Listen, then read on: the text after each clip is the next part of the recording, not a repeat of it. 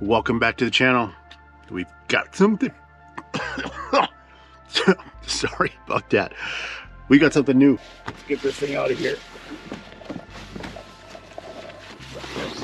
Oh.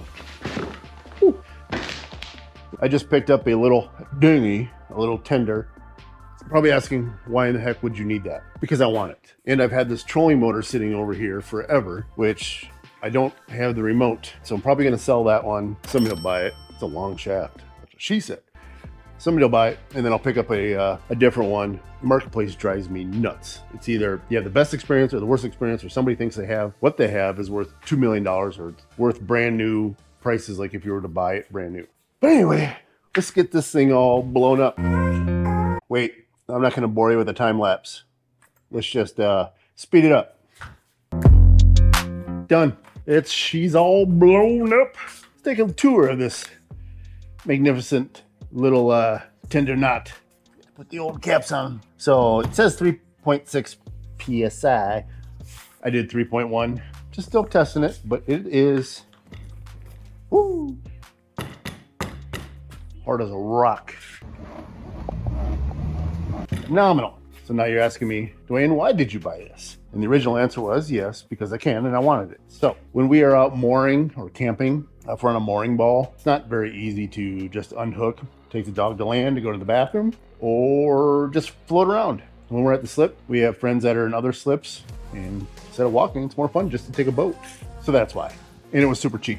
And if we decide to do some land camping and we go on vacation or do a road trip, super easy to load up and take with us. You can blow it up and go for a little tootle. Need a little wind here. No, you need to drop a couple hundred pounds, Blimp. Watch your language in front of the lady, punk. I doubt we'll ever use the oars, but they'll stay on there just in case. So that's that. I'm gonna get her all cleaned up because she is a little dirty. We'll use a little wipe down. The underside is, oh, there went the oar. Pretty good shape. Looks like it was sitting in the water a little bit.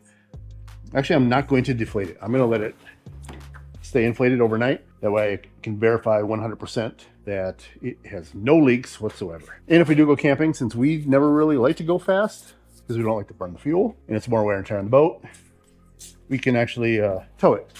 And when we go camping, we can put a bunch of crap in there and not stack up the boat. Oh, and one little fun fact, it does have a little HIN number. Um, since I'm putting a trolling motor on this, I do have to register it. So another thing registered. I will probably work on that tonight, at least get the paperwork filled out, and then it looked like I could just completely register a brand new boat through the state online. Seems kind of weird. We're like last in education, but we're first in technology when it comes to registering your vessel. In the state of Idaho, whatever. We finally got it registered, so it is legal. Since we are putting a trolling motor on, we do have to register it with the state. Um, after some deep, deep research last night, I was up majority of the night because that trolling motor will not work.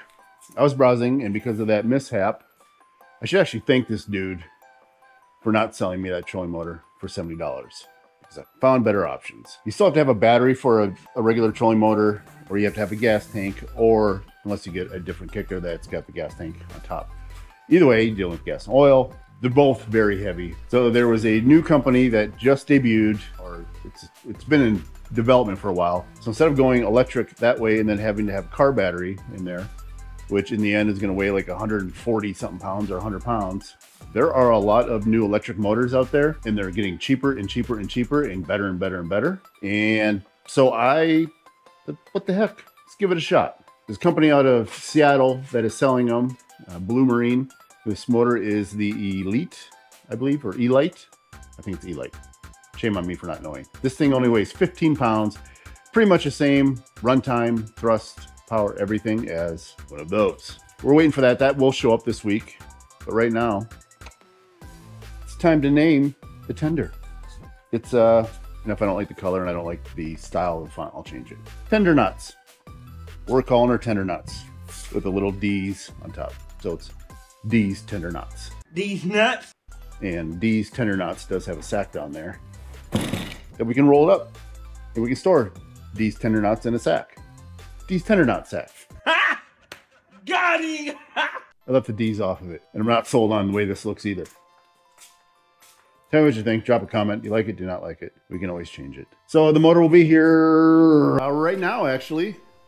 There it is. Woo! Fresh. Still in the box. Let's get this bad boy opened up and not cut ourselves. All right. It's a box inside of a box from Blue Marine in Seattle. Uh, let me get this out of the way right off the bat. This is not a paid advertisement, paid plug, not sponsoring the product. It's just a new product I saw, and we're going to give it, it a true, real test. So if I hate it, I'll tell you about it.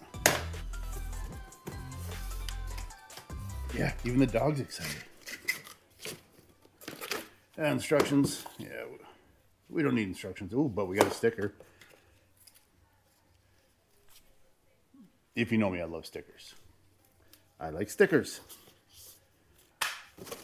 All right, so that box doesn't have anything. Oh, look at that. Look at that.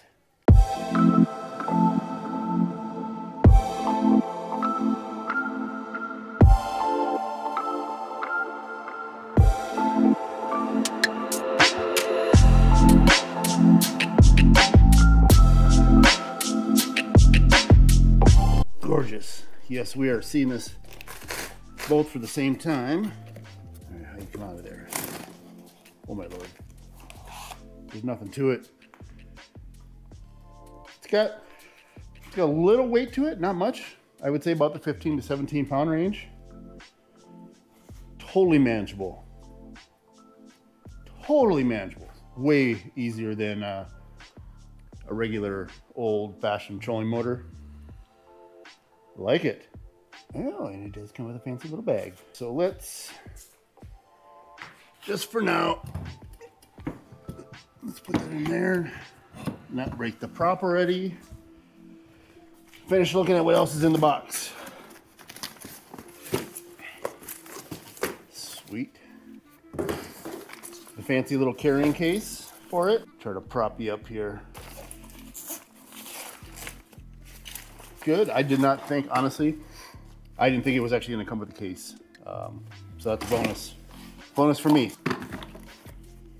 This is the transom mount. Accessories inside. Who doesn't like accessories? That is the lanyard, yard, with an Allen key. So this is your safety lanyard, this little magnetic safety switch. So if you fall out of the boat, it turns the motor off. We'll put that back in there for now. More accessories inside. I'm guessing this is probably the charger. Wild guess, but I bet it is. Yep. And this would be the charger, two pronger pretty big, but it is charging a 25 volt lithium battery. I guess it's expected. Anything else hidden underneath these uh, goodie boxes? That's it. Box is empty. Bag, transom mount, accessories, manual, trolling motor. Let's uh, get this thing installed.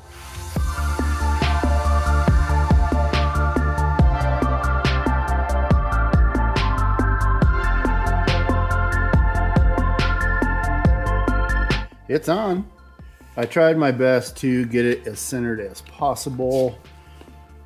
It's millimeters off, not bad. This would be your, I guess your tilt control. So you can yank this pin out, pull it up a little bit. And if you wanted your resting spot to be there, that's as low as it would go. Pretty similar to a, just a regular outboard motor. Pull up, this locks it down. So this keeps it locked so it doesn't come up, but you can also unlock the, uh, the doohickey there and then it's free flowing all the time until it's in the total up position. Then you have to release it.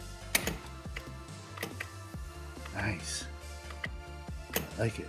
Let's try that. Blocked. Up.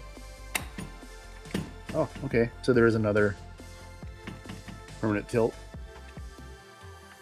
And that's fully, fully up pretty, pretty darn easy and simple.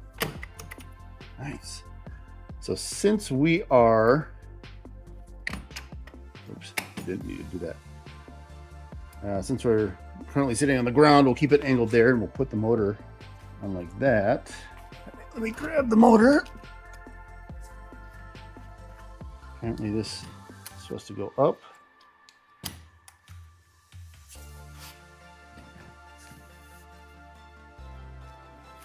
It's supposed to slide right on. Voila! That was super easy. So as you can see, it's obviously tilted up. It'll be fully down when it's in the water. looks cool. Spins nice and easy. Forward, reverse. This handle's supposed to pull up too. We'll play with that once we get it on the water. One of the favorite parts. You notice I'm not even reading the instructions yet. Let's see if I learned how to turn it on. So we're definitely gonna need charging. We're at 22%, zero kilowatts. Uh, go forward. Oh, it is beeping at me because I don't have the kill switch in. Without reading the instructions, Allen key here. On the Allen key that they did provide, I believe, once I read the instructions, so this, I don't know if you can see, it might be dark. There is a channel here I didn't read the instructions yet. I'm just guessing. Um, this Allen key, you can undo this. So this can actually slide up and down farther, depending how deep you need the prop in the water. I think. Kill switch, magnetic. I can see that being pulled out pretty, pretty easy. It's not a whole lot of resistance there. Minor, minute details. All right, let's fire her up. Sorry, I had the Allen key in my mouth. Forward. Using zero kilowatts. Oh yeah. Nine. I'm wondering because, see this is where I have to read the instructions. I'm trying to go full bore, but I'm wondering because of the battery being so low, it's not going to, it's conserving for you. It's uh, kind of telling you what, what is best for you. Kind of like the government reverse.